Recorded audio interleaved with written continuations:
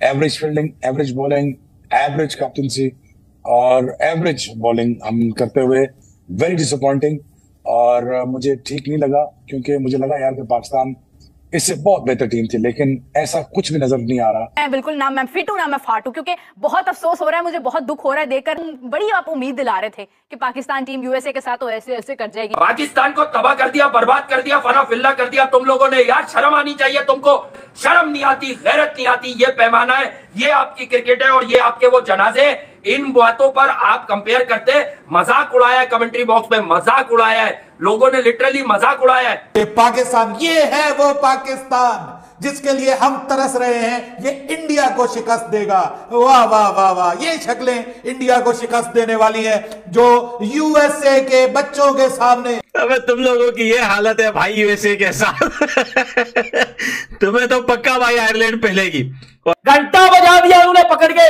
आप यूएसए के अगेंस्ट भी डोमिनेट नहीं कर सके। ये क्रिकेट का आपने जिनाजा निकाल दिया हुआ है। मेरा घर कर दिया है आपने क्रिकेट का।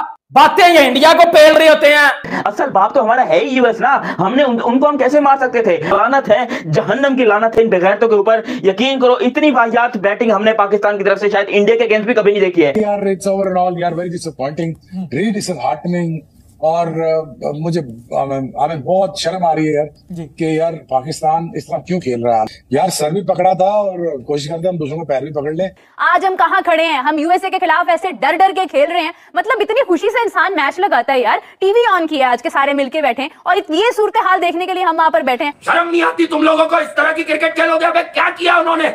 और ये गंडा ये स्पिनर का स्पेशलिस्ट है। और स्पिनर के हाथों आउट हो रहा है।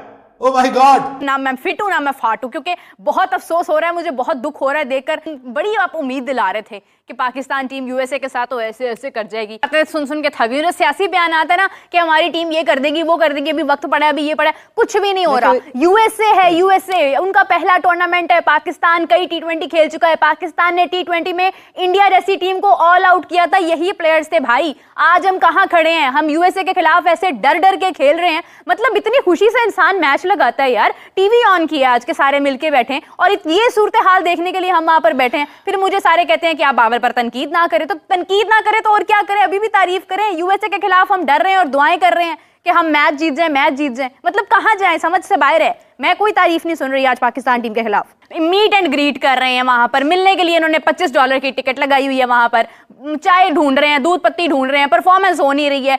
150 का स्कोर बना है तो आप मुझे बताएँ कि आप वहाँ पर क्या करेंगे? इंडिया के खिलाफ आप क्या करेंगे? मतलब इंडिया आपको 50 पर ऑल आउट कर देगा और आप कहेंगे, भाई, वो तो विकेट का मसला था पिच का मसला था, या टीम बहुत स्ट्रांग थी, हमें तो यूएसए के खिलाफ भी मुश्किल आता टी ट्वेंटी वर्ल्ड कप 2024 के अंदर पाकिस्तान का पहला मैच पाकिस्तान का पहला मैच दुनिया की क्रिकेट में पहली मरतबा डेब्यू करने वाली टीम यूएसए के साथ था। लेकिन हर बार की तरह बाबर की कैप्टनसी के अंदर पाकिस्तान टीम मुँह काला करवा कर दोबारा हार गई। पाकिस्तानी मीडिया कहना है कि आज के दिन जो शिकस्त हुई है, इस हार से ये बात साबित हो गई है कि पाकिस्तान टीम के अंदर ज़ीरो भी क्वालिटी नहीं है कि वो मैच जीत सके। बिलखसूस पूरी टीम के अंदर ना बैटिंग है ना बॉलिंग है। टोटल बनाया, बड़े, मुश्किल से मरते मरते, टोटली बैटिंग पिच को फिफ्टी नाइन और पाकिस्तान की घंटा बॉलिंग एक नई टीम के सामने 159 रन भी ना बचा सकी। ये हाल है पाकिस्तान की बॉलिंग का।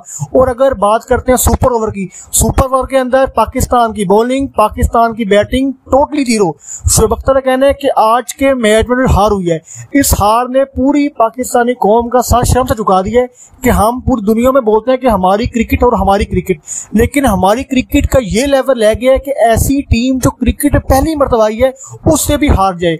अगेन बाबर आजमी कैप्टनसी में पाकिस्तान दोबारा हार गया। हर बार की तरह पहले चैंपियन ट्रॉफी हारा, फिर ओडीए वर्ल्ड कप हारा, फिर एशिया कप हारा और दोबारा टी ट्वेंटी वर्ल्ड कप हार गया बाबर आज़म कैप्टनसी में। वसीम अकरम का कहना है कि आज के मैच में पाकिस्तान की बॉलिंग पाकिस्तान की बैटिंग पाकिस्तान की फील्डिंग बहुत फ्लॉप रही। आज़म खान दोबारा लगातार चौथे मैच के अंदर अंदर आज़म खान ज़ीरो पर आउट हो गए। ज़ीरो पर आउट होना टी ट्वेंटी फॉर्मेट में लानत की बात है जो कि आज़म खान मुसलसल अपने मुँह पर मल रहे हैं। आज के मैच में हार के बाद Pakistan team 99 percent T twenty world cup से बाहर हो चुकी है, क्योंकि इंडिया पाकिस्तान को हराकर नंबर वन पर आ जाएगा और यूएस से हर टीम से जीतकर इंडिया से हारकर नंबर टू पर आ जाएगा। और टॉप की दो टीमें क्वालिफाई करेंगी, पाकिस्तान नंबर तीन पर आकर किसी भी सूरत क्वालिफाई नहीं कर सकता। था उनकी औकात के मुताबिक खेल के गया था उनको।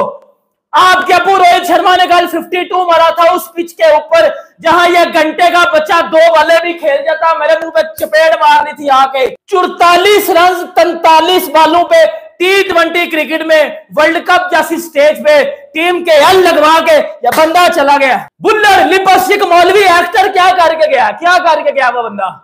क्या करके गया? आज़म खान क्या कर रहा है टीम में? गेंडा क्या कर रहा है टीम में? एक बॉल पे ज़ीरो रन इसलिए आज़म खान को टीम में रखा हुआ है। यूएसए के सामने भी टट्टी करके आ रहे हो। ये कौन सी ये कौन सी क्रिकेट है? ये क्रिकेट का आपने जनाजा निकाल दिया हुआ है। बेड़ा गर्क कर दिया है आपने क्रिकेट का। बातें ये इंडिया को पेल रहे होते हैं। What a disappointing, disappointing and disgusting, disgusting display of cricket from once a world champion Pakistan team against never played a T20 World Cup USA बच्चों के खिलाफ पाकिस्तान टीम ने आज वो कर दिखाया, जिसका खौफ हमें पहले से था ये पाकिस्तान, ये है वो पाकिस्तान, जिसके लिए हम तरस रहे हैं, ये इंडिया को शिकस्त देगा। वाह वाह वाह वाह, ये शक्लें इंडिया को शिकस्त देने वाली है, जो यूएसए के बच्चों के सामने बिगाड़े थे वो लोग। कि जो जाके नीचे लेट जाते हैं ऐसी टीमों के और अपनी कौम को जलील और रसवा करते हैं। यकीन कीजिए, दुआ मांग रहा था मेरी। जिसको आपका कप्तान खुद गेंडा कह रहा है, आज आपने देख लिया। अरे भाई, उससे तो बल्ला नहीं हिलता। जो कमेंटेटर है, वो कहता है very lazy very lazy bat movement और ये गेंडा, ये स्पिनर का स्पेशलिस्ट है। और स्पिनर के हाथों आउट हो रहा है। ओ माय गॉड असल बात तो हमारा है ही यूएस ना। हमने उन, उनको हम कैसे मार सकते थे? लानत है जहन्नम की लानत है इन बेगैरतों के ऊपर। यकीन करो इतनी वाहियात बैटिंग हमने पाकिस्तान की तरफ़ से शायद इंडिया के अगेंस्ट भी कभी नहीं देखी है। जो आज इन लोगों ने औकात दिखाई अपनी। भाई टेस्ट क्रिकेट को भी यहाँ पर शर्म आ गई होगी टेस्ट क्रिकेट को कि क्या कौन कौन से नमूने हमारे सामने पेश कर दिए तुम लोगों ने? आज़म खान कुत्ता है कुत्ता। ये गेंडा नहीं इसको खबीज को मैं क्या बोलूँ? हाथी का बच्चा कुछ करने को है नहीं इसके पास। यहाँ पर आते थे पाकिस्तान में खेलने के लिए। ये हमारी औकात बन गई पाकिस्तान क्रिकेट की। अब यूएसए वाले अमेरिका वाले वो वैसे हमको थूक लगा के मारते हैं। और आज उन्होंने एक बार फिर से मारा। अबे, तुम लोगों की ये हालत है भाई यूएसए के साथ। तुम्हें तो पक्का भाई आयरलैंड पहलेगी एक तो ये आज़म खान गेंडा दोबारा ज़ीरो पे आउट हुआ, ये